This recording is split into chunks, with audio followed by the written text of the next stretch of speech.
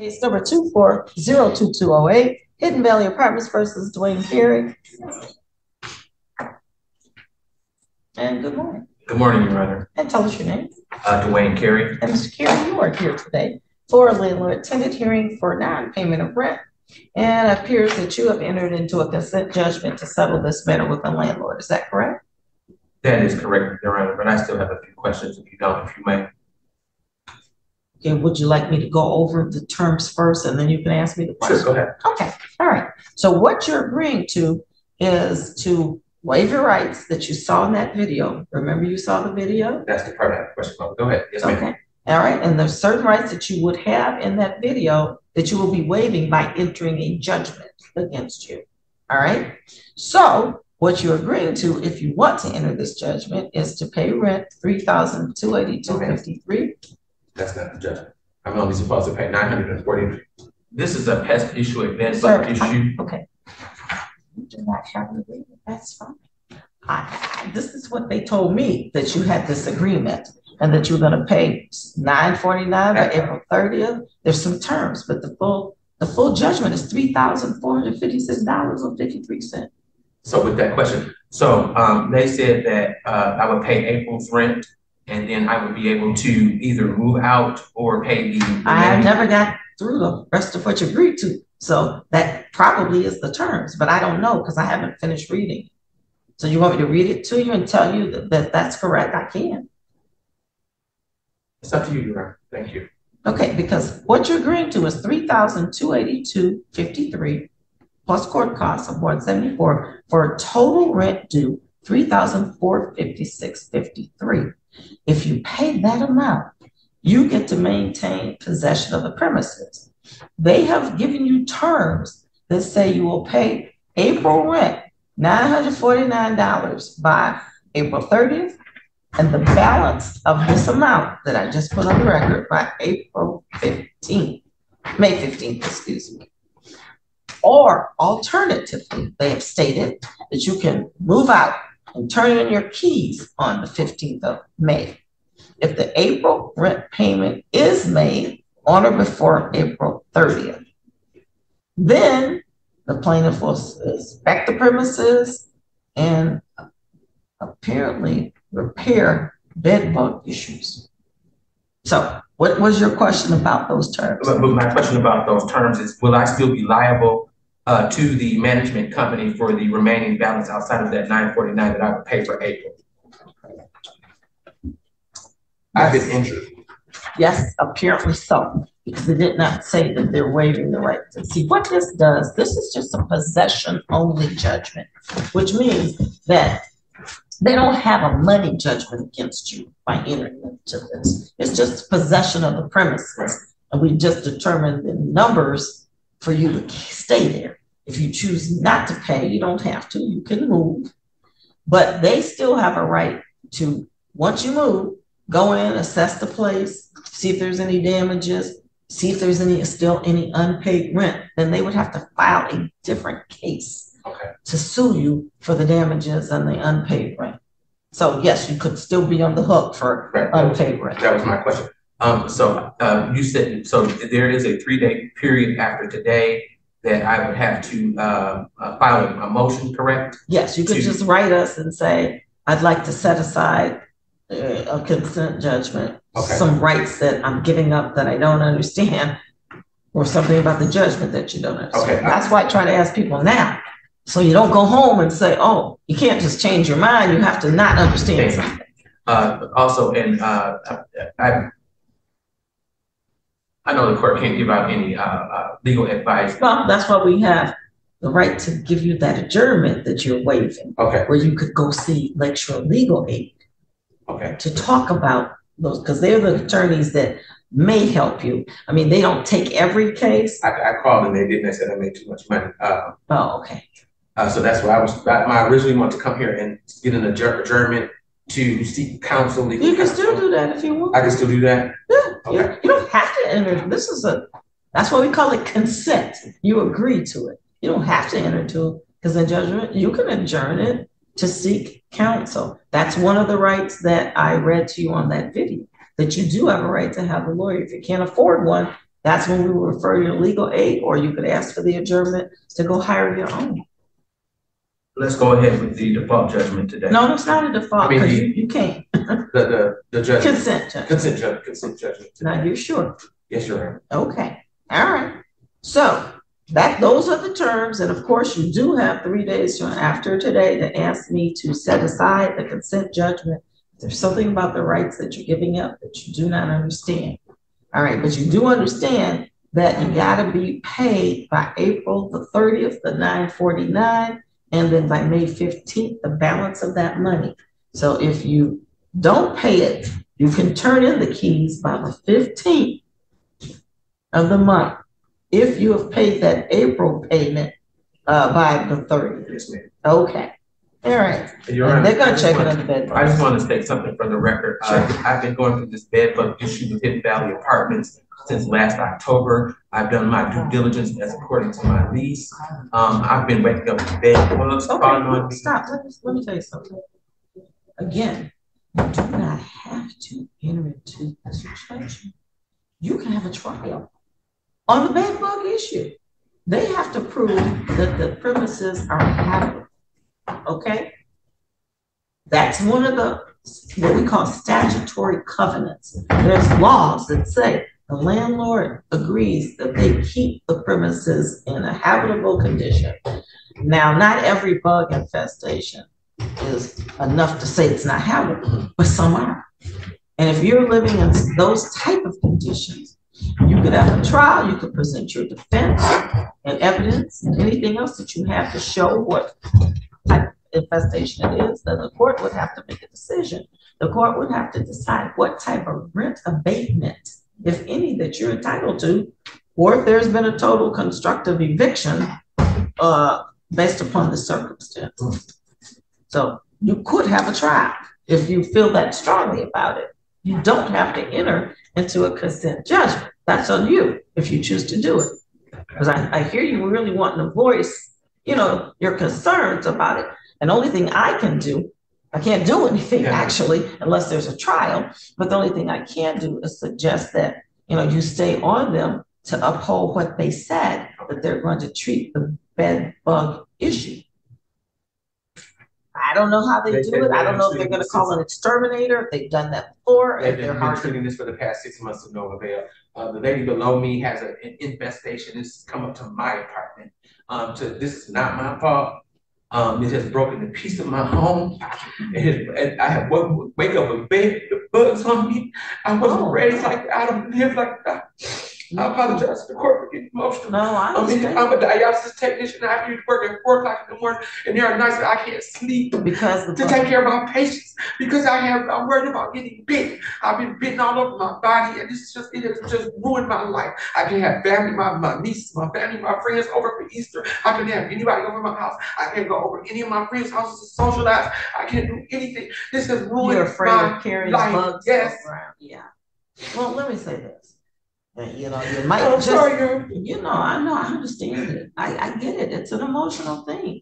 People don't understand something that they think is so minor can be very major and it can disrupt the whole I- lifestyle. So why don't you do this? Why don't you go ahead and agree to the terms if you want to, to move out? Okay.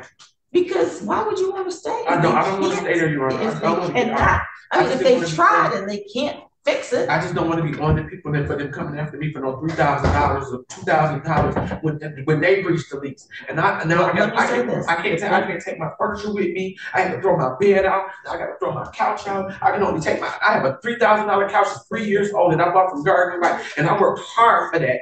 I worked hard for my bedroom set. I worked hard for my and I got to throw it out because I can't if, if I do move I can't take that with me.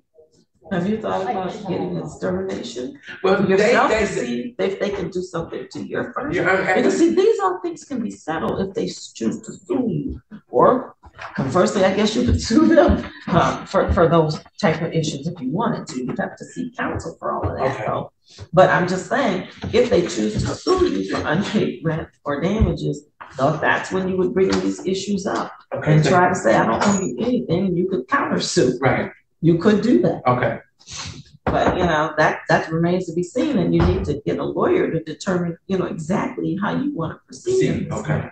Okay, thank you. Okay, but you do understand the terms that you're agreeing to Yes, now, ma'am. is to pay the nine forty-nine, and then you could move and turn in your keys by the fifteenth. Yes, ma'am.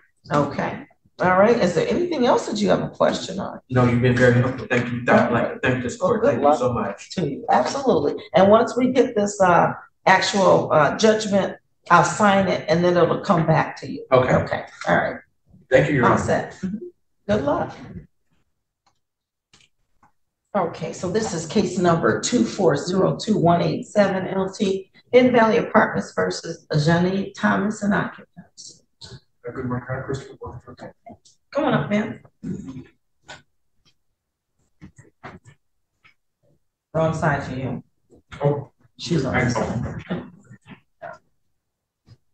And come a little bit closer to the, um, microphones there. Tell us what your name is. Zanet Thomas. Okay, Ms. Thomas, and good morning. Good morning. And you're here today for a landlord tenant hearing. This is for a non-payment rent. Now, what I've got on the form is that um you were advised of your rights. You watched the video today, correct? So you understand all the rights that you typically have in this kind of case? Yes. All right, and so the landlords, uh, by his notes, has indicated that they believe you owe rent of two thousand five sixteen ninety-five, hundred seventy-four dollars in court costs for a total of two thousand six ninety and ninety-five cents. They're asking me to adjourn this hearing without doing anything because they want to investigate some of the issues um, that you claim that you made a payment in December that was some removed, I guess shows that it was taken out of your bank account, Mhm. but it shows insufficient funds uh, on their end. Right. So they want to clear that up. And um, so, because they showed it that it was reversed out. And like I said to him, um, it came from two different accounts. The account that I had on file that I was using, it was on auto pay, and I never knew that. When you download the rental app, um, it automatically puts your payments on auto pay, which I thought was weird. So when I found out, I took it off. But I made a previous payment before the payment that was due for December, November's rent. I made that on the account that I used for December's rent, and it went through. And um, So that's the, that's the one that they don't see yet, or they don't. It's on there. It shows. We went through, like I said, it was information that we had to go through. I'm putting out statements and I also brought paperwork and documents of all the payments that were made and showing that the payment came out of the account Okay, from bank statements to um the rental app um receipt and also some other things. so you don't think that you owe this total for up to today through April? That's correct. We also, we also figured out that I told him, um. Him being the lawyer. the lawyer, I'm sorry. I told the lawyer that I made payments with a money order for February, March, and April. Now I paid April's rent on the second. That he said NSF is coming from, like, from after January. So February, March, and April are showing, or February and March are showing NSF. But that's been paid through money order. The apartment has copies of the money order. Ah. They processed it in front of me. This is, let me just say this separately and aside from all of the issues in this case. I just don't like money orders. I'm gonna tell you why. I don't like electronics. Yeah, I know. You know, the money orders are bad from the standpoint of, I mean, they're good because, I mean, you pay your money, you get the money orders. But if, if somebody loses it, like just say they lost it, Which I have a copy, they're just not on me at the moment. but if you have a copy, but they can't find it, then you gotta go through the whole trace system. It takes like months for them to do that to see I couldn't make a payment what happened, or for them to even cancel it. Right, I- and I couldn't make a payment online because the rental app that we use called Rent Payment, it won't let you make this the month that you owe. It will make you pay the full balance Sure, that you sure. owe. But So let I me ask you this, just for future reference, can you do something like a bank check? I usually pay with my bank account. But like I said, I couldn't do that, or my bank I use is not like, uh, you can walk in bank. Okay, I have an online bank, so I can't. but some of the walk-in banks, you can just pay a couple of bucks. Yeah, and get And a, get it, it a, a check, a just give them the cash and they charge you ten dollars and you get an actual check. Cause then you could trace it And that's correct. easily if you, if they lost it. Money orders are just harder, but that's just me He told me that's what I could use to pay the, the property manager, I'm sorry. He told me that's what I could use to pay the rent because I couldn't make the payment online. Sure, you could. So that's what I use. But if with the money anything goes order. wrong, it's hard to trace them. That's all I'm saying. February's one was posted with the money order. I have proof of that. They put that on the portal. They did not put March on the portal. They did not put April on the portal. So that's what. Even I'm though you paid them. Yes, you're ma'am. And you paid those with money. order. Yes, ma'am. Well, Mr. Borkin, I guess you're gonna have to look into that. I don't know why that would be occurring. And if they lost the money orders, oh boy. That's a long process for her to get it traced or canceled and reissued. Hmm. So how much time do you want for this adjournment to look into all it? Uh, Your Honor, I think uh, a week or two is sufficient. I do have a couple questions for my client so far as how if the defendant says that they paid by money orders, that they could not have received their credit. Doesn't seem like there's anything else that they could do. So I, I want to try to figure out. if Yeah, because she said she got credit before when she paid like in December and something February. posted, February posted. So I don't know what happened to March and April. And I did, I just recently looked like, why is March not on here? I work and I, my hours I work are crazy, so my brain doesn't function how it should be. Yes, I'm young, but it doesn't function how it should. I got a lot going on at know work. so my meeting, I'm like, wait, why is March not on here? March is not on here. Now Do you have the receipts for the money order? I do. I just have the the one I Maybe you do could have. give Mr. Borkin. We, I, we, did- I did show him the receipts Oh, I have now. However, you didn't have the ones that we needed. The ones that I didn't need, they are at home. I thought I had So them you, in so my, you in my have his phone and number where you could I do. email them Yes. to him or something? Yes, ma'am. Cause that way he could actually have them and say to his client, hey, it's money order number such, such, it's dated so-and-so, she claims she gave it to you on such and such date. Right. At least I, I usually, I pay my rent early. I like to get it out the way. I don't like to wait till the first. Cause you wait till the first, that's where it takes a longer process. And then you pay online, it takes them about eight days to clear the payment. And that's another thing I don't like. That's why I'm like, you know what, I'm just gonna do money order, cause I can go pay it on that last check of the month. And it could be cleared by the first of the month if it falls on a weekday. Possibly, maybe not so. But it, I just know it's already paid for and it's out of my possession. right, I get it. Well, let's give you an adjournment. Where is the, the date? Court's available April twenty-third at nine thirty. Okay, four twenty-three at nine thirty AM will be our next court date. Hopefully you guys can get it resolved by then because it's awfully strange what happened to the money orders. Yeah, I that mean for February to be on there and not March, and I paid March in money order as well, is weird.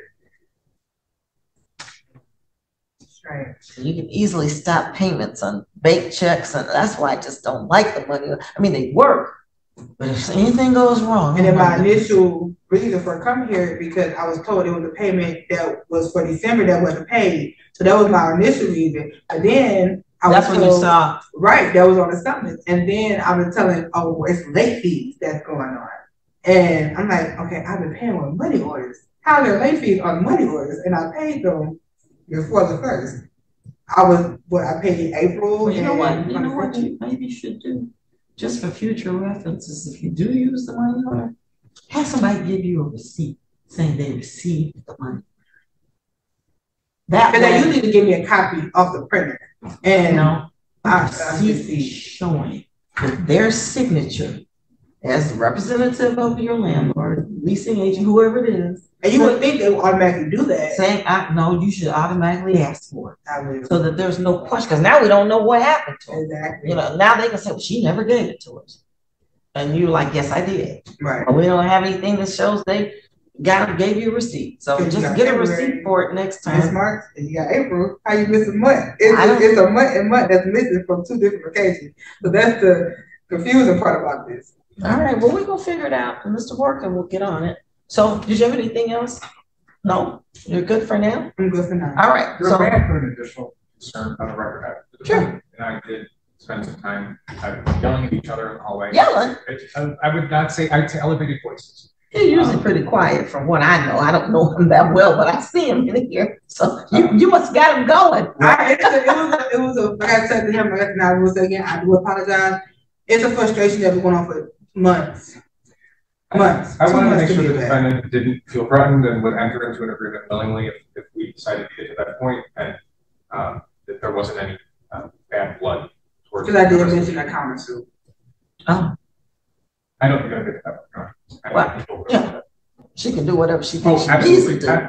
But he just want, he just wants to make sure that you don't feel pressured or threatened by the situation with talking to him if you do enter into this uh, agreement down the road. Mhm. That's what he's trying to make sure. But we'll, we'll, we'll resolve it when we get there.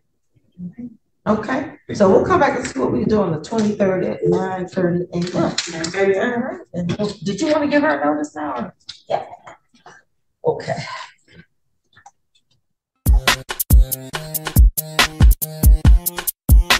Thank you.